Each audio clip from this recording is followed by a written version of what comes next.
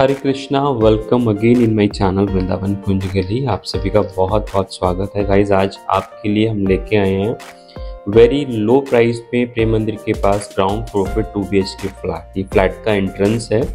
आगे बढ़ने से पहले आप सभी से रिक्वेस्ट है प्लीज़ हमारे चैनल को सब्सक्राइब कर लें और ताकि ज़्यादा से ज़्यादा वीडियो आपको हमारे चैनल के माध्यम से मिलती रहे। तो गाइज़ पूरे फ्लैट में आप देख रहे हैं। ओवरव्यू जो साइज़ है, इसका 900 स्क्वायर फीट का है। और फ्लैट में टोटली काम बहुत अच्छा कराया हुआ है।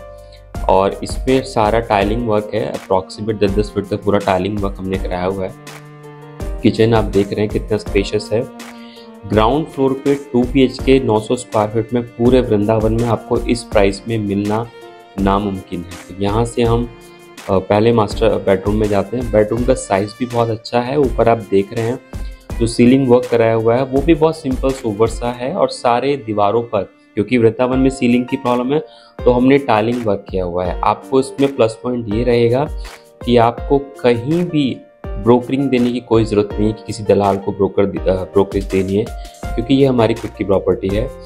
और आप देख रहे हैं कि इसमें जो वॉशरूम है वॉशरूम का साइज़ भी काफ़ी बड़ा है। इसमें सबसे बड़ी खासियत हमने यही करके चले हैं कि पूरे फ्लैट को हमने रेनोवेट किया है, पूरा टाइलिंग वर्क किया है, ताकि आपको दीमक की और जो प्रॉब्लम है मेजरली सीलिंग की सीलिंग की वो ना आए।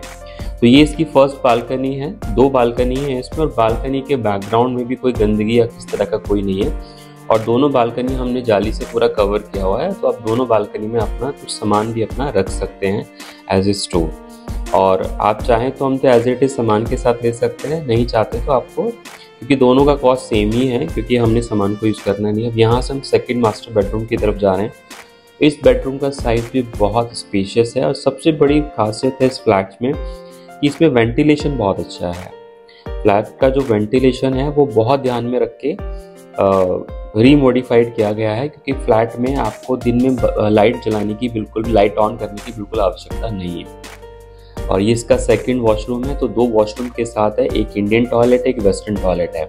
तो दोनों तरह के टॉयलेट हैं, जिसको जैसा यूज़ करना हो, अपनी सहूलियत के हिसाब से वो कर सकता है। नाउ ये पूरा वॉशरूम के से बाहर निकल गए। अब हम जाते हैं इसके सेकंड बालकनी में। तो बालकनी सेकंड बालकनी का व्यू भी बहुत अच्छा है।